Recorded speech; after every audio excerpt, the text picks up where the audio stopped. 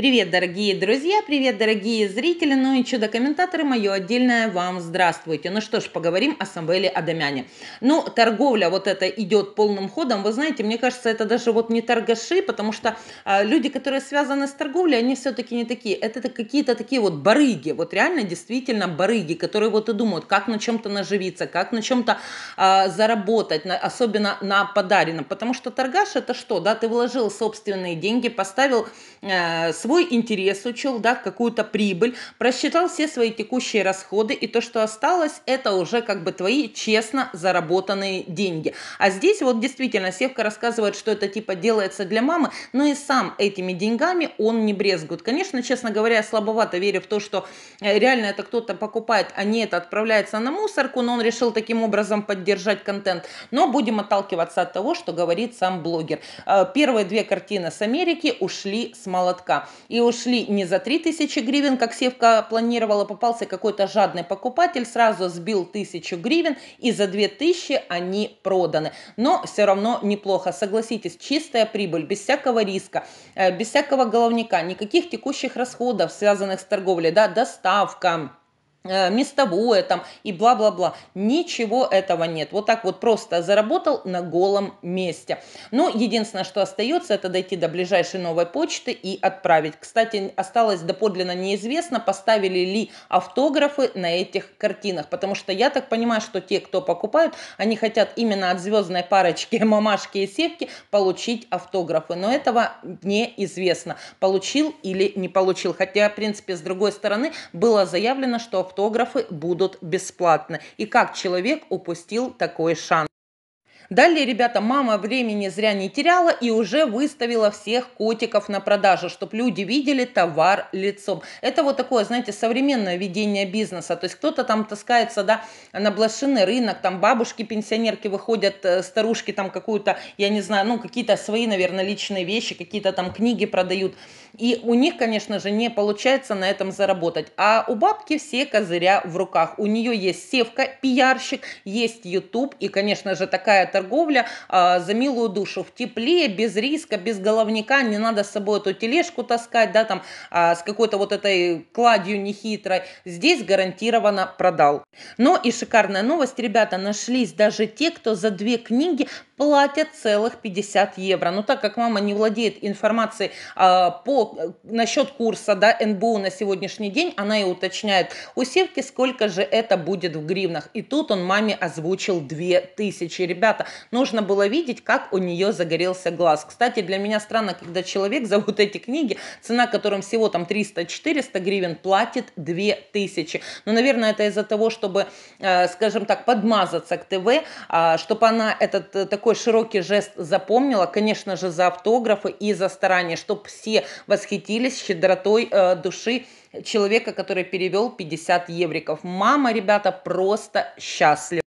Но что самое удивительное в этом всем, представьте, она даже не требует от девушки денег. Как она объясняет, что ей сейчас деньги не нужны. Все равно, когда они у нее заканчиваются, они и, э, она обращается к Самвелу, и деньги он ей дает. Вот здесь мне непонятно. Я уже второй ролик слушаю подобное и поражаюсь, как мама не хочет денег. Что-то в этом есть, какой-то скрытый смысл, либо намек. Возможно, раньше ей деньги нужны были, потому что было кому отправить. А сейчас сделать это некак. Поэтому мама и играет в такую вот хорошую мамку, настоящую мамку, да, которая последняя готова отдать своему ребенку. Ну и в этом же ролике уже тысячу первый раз нам показали очередную готовку рецептуру для диабетиков, очередной шедевр кулинарной отсевки. Вы знаете, вот это а, блюдо уже можно было запомнить, ну не знаю, ну с пятого раза, с седьмого, с десятого. Но мама включает дурочку и рассказывает, что у нее, конечно же, так не работает фантазия.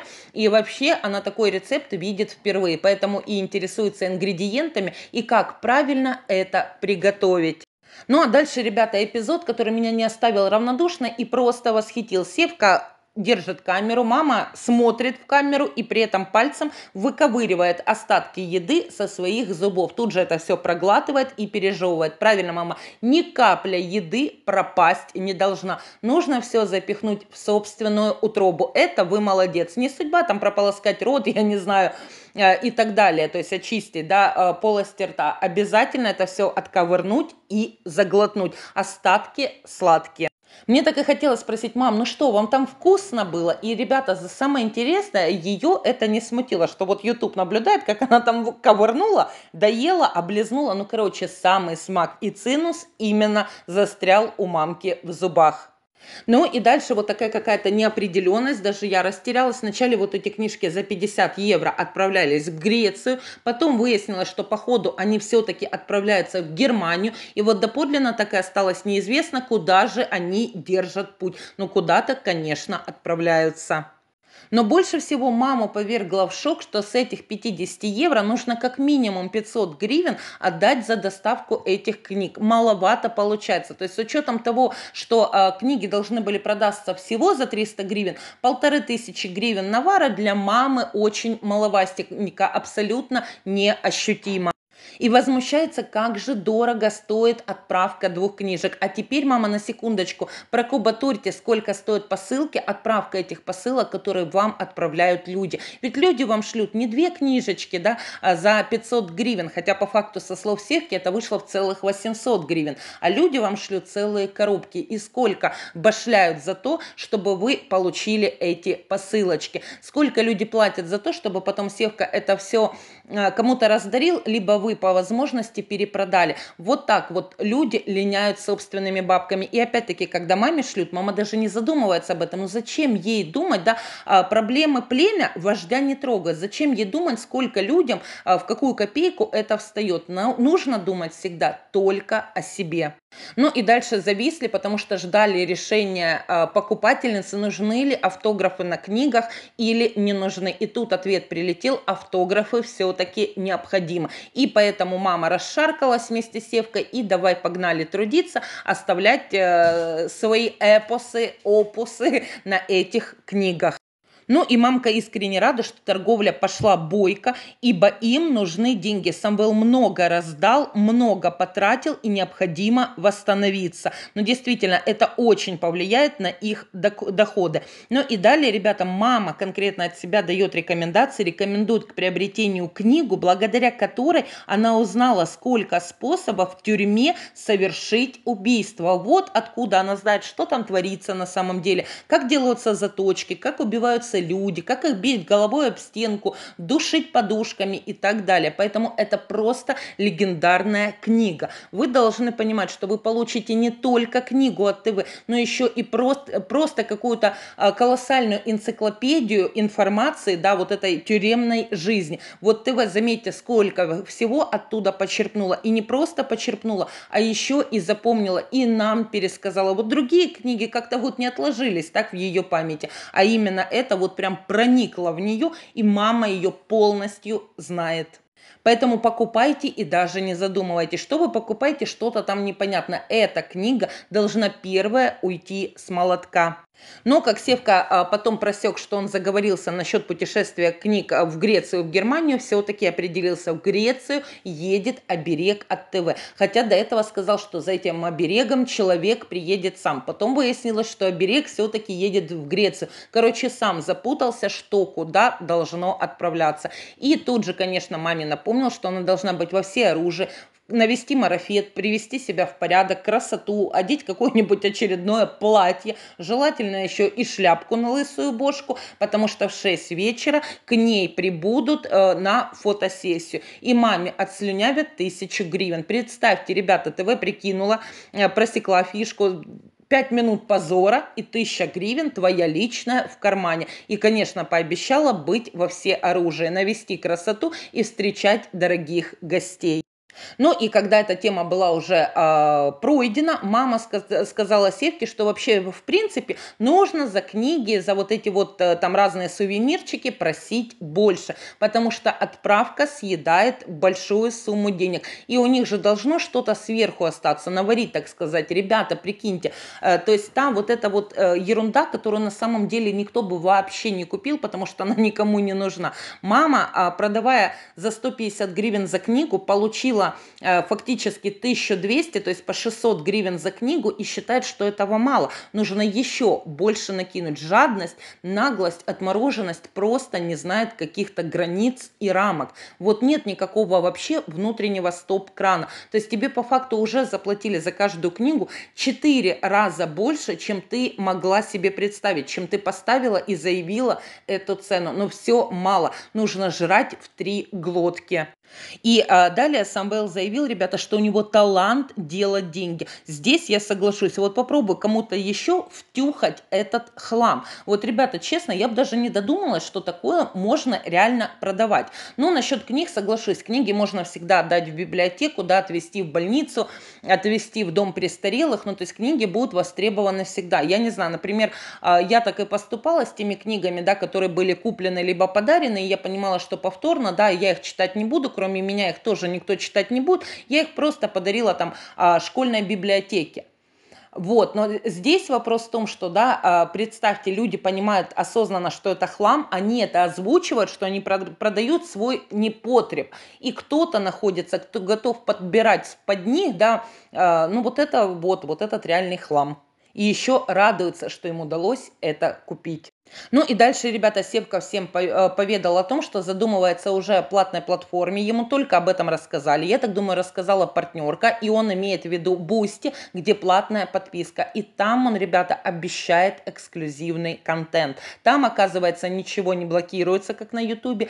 И он может себя, э, скажем так, продемонстрировать, продефилировать перед нами в трусиках. И, возможно, даже спускать эти трусики. Но даже на этом он не остановился и сказал, что, скорее всего, придет время, время, когда он еще даже платно будет продавать свои интим-фото. И вот я представила очередь оголтелую заявки да, на вот эти фото от Марынки, Надьки, но это первые будут ценительницы, так сказать, прекрасного. Ну, а дальше пойдут остальные куколки. Ведь не зря женщины об него и терлись, и приставали, и в электричках или в метро, не помню, где там за причинное место хватали. Вот это действительно эксклюзив. Я представляю состояние этих куколок, когда они увидят увидят вот такую обнаженку. И, кстати, Севка сказал, что и на Boosty он 100% обогатится и станет, наконец-то, богатым человеком, да, потому что он представляет, сколько его девочек побегут на это посмотреть. Ну и следующее расстройство, которое повергло мамку в шок. Мамка принарядилась. Ребята, одела вот это а, шикарное американское желтое платье, которое еще тогда меня повергло просто в шок и готова была к фотосессии. Но подвели, обманули и просто не явились. Вот это действительно шок. И мама сказала, что после этого, чтобы он конкретно брал у людей номера телефонов, а, с ними созванивался и определялся, будут они или нет. Ну и дальше нам в этом же ролике показали Зину. Севка смеется с Зиной из-за того, что она сидит в брюках, да, в штанах, с двинутыми ногами. И он а, смеется от того, что это для него выглядит ненормально, и она сидит как девственница. Но действительно, для него, естественно, ненормально, когда женщина сидит с двинутыми ногами. Когда ноги сдвинуты да, в одно место, это ненормально, потому что смотришь, например, на маму, которая да, вечно в раскорячку, на э, Свету Сцитник, которая точно так же вечно в раскорячку. У них какой-то пунктик сидит сидеть постоянно с раздвинутыми ногами. И когда женщина сидит так, как она и должна да, сидеть, э, для него это выглядит непонятно, странно и очень весело и смешно. Потому что действительно видел всегда перед собой каких-то э, женщин, которые ведут себя ну, как-то непристойно. И это он считает нормальным. Ну и дальше, ребята, мамка э, показала свои записи. Оказывается, она фиксирует каждый проданный лот. Ее не обманешь и никак не накуклишь. И та, которая кричала, что денег мне, Самвел, не надо, держи их у себя, с удовольствием их хапает. Хапает, перечитывает. И там даже мимо, э, мимо 50 гривен не проползет. Ребята, я вот такой жадности не видела. Когда мама говорит сыну, ты мне должен остался 50 гривен. Это действительно жесть. И вот что самое интересное, и память у нее там идеальная. Вот блюдо как готовить, мама ни хрена не помнит. А вот какие лоты она продала и сколько денег ей должны э, вырученных ею, да, от продажи передать, вот это мама знает четко, помнит. Мне кажется, ее ночью разбуди, и она это без всяких там писюлек проснется, глаза откроет и озвучит. Ну и дальше, ребята, а, ТВ объяснила свой подход к этому всему. Вот она недавно пошла, купила 24 прокладки, потратила на них более 100 а, гривен, и при этом этих 24 прокладки ей хватит всего лишь на несколько дней. Я, ребята, не знаю, просто я не сталкивалась с таким, а, в моей семье такого нет, а с посторонними женщинами, да, на эту тему я говорить не могу, ну, не буду. Но я как-то слабо представляю, что реально 24 прокладки хватает всего лишь на несколько дней. Ну, э, может быть, кто-то знает и напишет, просто интересно для себя, утверждать я не буду, да, что это не так, но просто какое-то сумасшедшее количество всего лишь на два дня. Ну и дальше мама увидела, что все, в принципе, потихоньку продается, но застопорился главный лот а, ее аукциона, это, конечно же, зеркало. Но вот никто не хочет его за 10 тысяч брать. И мама напоминает, да, что зеркало стоит 10 тысяч. И что самое интересное, при этом они рассуждают, что вдруг нужно будет убегать, куда девать этот хлам, поэтому правильно, пусть кто-то купит этот хлам, а, и непонятно от чего и куда, опять-таки, они собрались бежать. Ну и дальше, конечно же, да, а, котики. Цена котиков, ребята, от 200 гривен, а там чуть ли не до 7 тысяч гривен за единицу. Я не знаю, что это за эксклюзивные котики, но в моем понимании это вот такие, знаете, статуэтки ни о чем. Вот просто реально ни о чем. Никакой какой-то цены ценности, в моем понимании, опять-таки, они не несут. Но уже нам показали, что почем озвучили, так что куколки покупайте. Ну и далее нам озвучили, сколько же уже по факту заработала мама. А это 4600 гривен и плюс оберег, который еще не оплатили. Мама деньги с оберега не пронаблюдала. Мама молодец. Ну и далее зашел разговор, конечно же, продать фото Эдика за 5000 гривен. И здесь мама решила, что святое, любимое, дорогое и самое ценное продать она не готова. Даже за 5000 гривен. И как Севка ее не выводил на это, да, что мы сделаем там э, дубликат этой фотографии, продадим дубликат, это то, с чем мама расстаться не готова. Вот интересно, если бы Севка предложил свое фото продать маме за 5000 гривен, интересно посмотреть было бы на ее реакцию. Хотя мама сейчас играет в такую хорошую и заботливую, что я думаю, для контента она, конечно, бы отказалась, хотя в голове очень бы об этом думала. Ну и дальше Самвел говорит маме, видишь, как хорошо, когда есть что продать и кому продать. Действительно хорошо. Шлите куколки почаще и побольше посылки. Мамка сейчас распродастся, места освободятся, и это еще, кстати, не дошли до маминой кладовой. Но я думаю, и туда дорога открыта, мама все распродаст, все будет пусто, поэтому есть место, э, куда скидывать весь хлам. Отправляйте, а мамка с Севкой будут перепродавать. И вот опять-таки, ребята, вы знаете, для меня действительно дикость, когда люди слали тебе, отправляли от чистого сердца на память, ты это с благодарностью принимал, восхищался, радовался, благодарил, и тут же это продаешь с молотка. Ну ладно, еще перепро- передарить, но перепродать, вернее просто продать, это уже действительно за гранью. И опять-таки, если тебе это изначально было не нужно, нахрена ты принимал эти посылки? Нахрена ты давал свой адрес и говорил, да, куда тебе их отправлять? То есть это говорилось о том, что тебе хотелось этой шары, тебе хотелось этой халявы, а тут получается, если еще на ней можно теперь и заработать, потому что вам это уже не нужно, то почему бы этого не сделать? И Севка так и объяснил, что если бы, например, маме целую библиотеку прислали, что бы она делала? Точно так же продавала, да. Вот почему я говорю, что это не торгаши, а просто какие-то барыги. Ну что ж, ребята, продолжение следует, а пока со всеми прощаюсь, до новых встреч.